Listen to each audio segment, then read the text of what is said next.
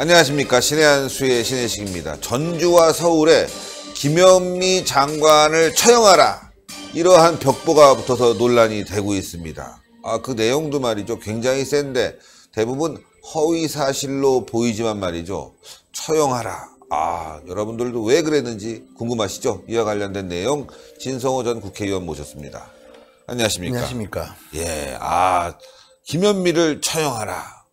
어떤 내용이죠? 그러니까 이게 지금 전주에서 일단 이런 벽보가 붙어 사고에서 기사가 떴는데 방금 떴습니다. 방금 서울 떴어요. 도심에도 김현미 국토부 장관을 원색적으로 비난하고 있는 벽보가 발견됐다는 겁니다. 자, 서울 해화경찰서는 오늘 오전 명륜동 3과 버스 정류장에 국토부 장관 김현미 공개 처형이라는 제목의 벽보가 붙었다는 신고를 접수하고 수사에 착수했습니다. 예. 근데 일단 어떤 사람이 간이 얼마나 크길래 현직 장관의 사진과 함께 범죄 사실 이것도 제가 볼때 전부 다 엉터리 같습니다. 그런데 저는 공개 처형입니다.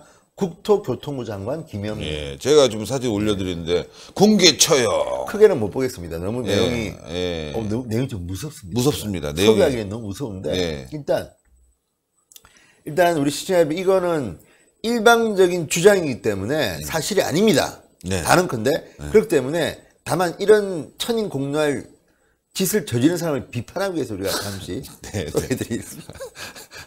근데 정말 제가 봐도 좀 자, 아니 좀 봐도 말이죠. 너무 유치해가지고 유치해서 소개하기도 좀 그렇습니다. 소개하기는 그런데 뭐 간략하게 큰 거 하나 보여드리면서 간략하게 한 심합니다, 이건. 심합니다. 뭐 성폭행 학대, 불법 도찰 유포, 공개 처형, 뭐 대학 술집 접대부로 일할 때 술은 따르지 않고 뭐 안주를 버렸다, 뭐 이게 뭐 말이 안 됩니다. 말이 안 되는 건데 말이 안 일단 됩니다. 소개하기도 좀 낯뜨거운데 나 뜨겁습니다. 국회의사당 의원회관 2층 구내식당 직원 협박 음식 테러 이게 무슨 말인지 모르겠고 뭐좀 직장 직원 어디 직원들 협박하여 뭐 몰카 음식 테러 예. 뭐 이런 건데 또 예. 뭐 우리 부모님을 협박해서 작은 부인 자기를 받으려 수작 그러니까 말도 안 되는 거죠 말도 안 되기 때문에 아무리 뭐 저희가 김현미 장관을 좋아하지는 않지만 문제 있다고 생각하지만 이건 좀 심하지 않나 싶은데 지금 방금 떴는데 이유가 뭔지는 모르겠습니다. 예. 그런데 어쨌든 어 근데 이렇게 대담합니까 범죄? 어 정말 이 이제 해당 벽보에는 김현미 장관 사진과 함께 각종 범죄를 저질렀는데 이 범죄 하나하나가 말도 안 되는 것이고 살인, 뭐 살인 미수, 뭐 학대, 성폭행 말도 안 되는 건데 어쨌든 간에 이렇게 해가지고 붙인 겁니다. 예. 공개 처형. 근데 아무리 대한민국에 표현의 자유가 있고 뭐 언론의 자유가 있다고 하지만 이런 자 거의 명예를 막 짓밟는 정도가 이런 거의 뭐 그러니까요. 근데 누가 어느 누구 간이 이렇게 큰 사람이 어디 있을까요? 저는 참, 어, 좀좀 심각합니다, 이건. 네. 요즘 뭐 김현미 장관, 국토부도 지금 블랙리스트가 터질 거 아니냐, 뭐 이런 얘기들이 돌고 있습니다. 거기도 지금 마찬가지로 지금, 어, 여러 가지 심각한 문제들이 있지 않습니까? 예. 저번에 그 김태우 수사관 관련해서도 하- 어, 이야기가 나오고 예, 있고 예, 하니까 뭐 그런 건 줄 알고 저는 기사 내용이 아 그래서 사람들이 분노했구나 했더니 들어가 보니까 이 얘기라 좀 실망은 하긴 했지만 정말 어 심각한 문제입니다. 어쨌든 간에 이 해화경찰서에 따르면 아침 오전에만 해도 없던 벽보가 갑자기 저녁 때 보니까 붙어 있었다는 겁니다. 전주에 붙이고 여기 또 올라와서 예, 붙이고 예. 근데 어쨌든 간에 CCTV를 토대로 이제 범행 시간도 파악하고 이제 벽보에 남아 있는 지문 뭐 이런 걸 통해서 이제 용의자를 추적할 계획이라고 합니다. 예. 근데 잡힐지는 모르겠습니다만 잡아야 됩니다. 정말 이렇게 예.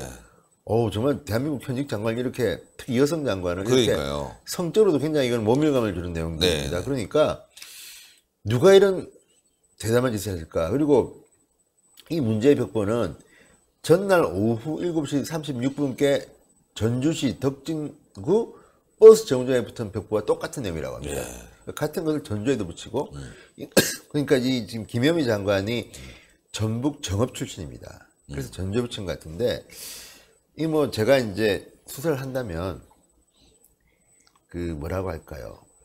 사적으로 무슨 원한 관계 예, 원한 관계 같은 뭔지 모르겠습니다. 뭐 청탁을 했는데 안 들어줬다.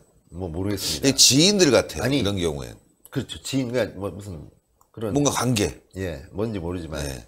인간적으로 뭐 좀 아는 사람일 확률이 높 네. 이거는 저 전혀 모르는 사람이 이런 짓을 하지는 않습니다. 아니면 정신병자. 정신병자일 수도 있어요. 예.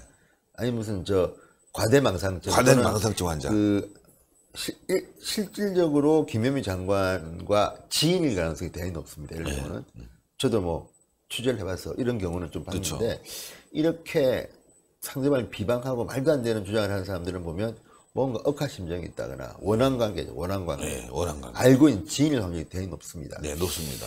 그리고 이런 경우는 가까운 사람으로 심해야 됩니다. 아무래도. 왜냐하면 전혀 관계 없는 사람들이 이런 대담한 짓을 하는 경우는 별로 없습니다. 그렇죠. 경찰서가 들어왔으니까 이제 나오겠지만 어쨌든 이 지금 이 벽보가 또 김장미라고도 돼 있는데 장미도 있는데 뭐 어쨌든 이거는 정말 아 정말 일륜적으로도 이렇게 쓰기가 좀 그런데 예. 무슨 말도 안 되는 정말 소개해 드릴 수가 없습니다. 아, 네. 제가 보니까. 하여튼 저희가 뭐 잠시 왔지만 저희는 이 벽보에 대해서 혹시 보신 분들이 있으면 너무 훅해서 이걸 갖다가 사실처럼 여러 군데 퍼뜨리지 마라. 예, 그런 차원에서 말씀드리는 겁니다. 요즘 뭐, 뭐, 정부가 이런 데 대해서 굉장히 예민하게 반응을 하고 있기 때문에, 어, 하여튼 이거 보신 분들 혹시 내용 때문에, 아, 이거 사실 아닌가 해서 뭐 이걸 막 퍼뜨리지 마, 마시라는 차원에서, 어, 말씀을 드렸고, 그렇기 때문에 보도를 한 겁니다. 어, 뭐, 김현미 장관을 이걸 가지고 음해하고자 이런 건 아니고, 아니니까 그 점은 또, 어, 여러분들이 알아주셨으면 좋겠습니다. 아, 이제 벽보를 갖다 쭈루루루, 이게 일곱 장이죠. 어우, 급하게 쫙 붙이고 어디로 간 것 같아요.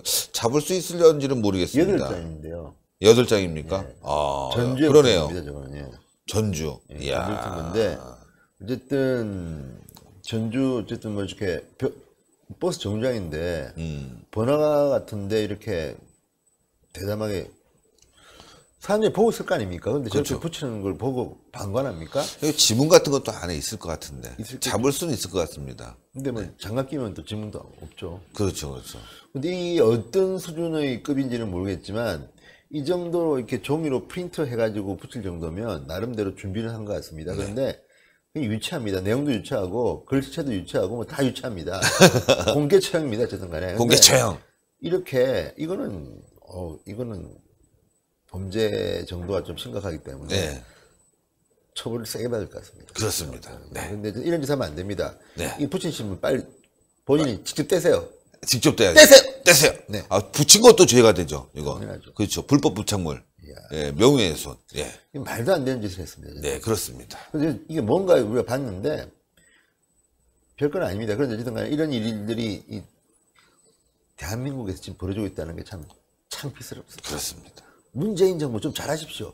어떻게 이런 일이 그러니까. 백주 대 낮에 벌어집니까? 백주된 낮에. 안 됩니다. 안 됩니다. 누군가를 이런 식으로 또 음해할 수도 있지 않아요. 그렇죠. 김현미가 아니라 다른 누구라도 네. 조심해야겠습니다. 조심해야 됩니다. 네, 이 정도만 대단히. 감사합니다. 네. 네, 신의 한 수는 공정합니다. 과거 박근혜 대통령에 대한 터무니없는 뭐 음해 또 어, 사진들, 누드 사진들, 막 합석해서 올린 것들, 막 이 사람들 좌파들은 즐겁게 떠들고 웃었지만 우린 그렇지 않습니다. 이거 잘못된 건 잘못된 것이다. 라고 지적하는 그런 아주 현명하고 올바른 방송이란 거 어, 여러분들 알아두시고요. 신의 한수 여러분들 이제 100만을 향해서 달려가야 됩니다. 어 50만 돌파 기념한 지가 엊그제 같은데 이제 54만 이번 주 안에 55만을 갖고 왔습니다. 60만 금방 넘어갈 것 같은데 여러분들 구독 버튼 꼭 눌러주시는데 동그랗게 올라갑니다. 근데 구독 버튼은요. 돈 들어가는 것도 아니고 아무것도 아닙니다. 구독하신 분들은 누르지 마시고 구독 안 하신 분들은 동그랗게 올라가는 구독 버튼을 눌러주시면은 신의 한수 영상에 알람이 가게 됩니다. 자 그리고 추천 버튼 꼭 눌러주시고요. 이렇게 어려울 땐 여러분들의 댓글을 많이 달아주셔야 됩니다. 댓글이 또 추천 영상에 올라가는 데서 참고 사항이 된다고 합니다. 자 동그랗게 올라가는 구독 버튼 추천 댓글 많이 많이 부탁드리겠습니다. 여러분들 대단히 감사합니다. 감사합니다.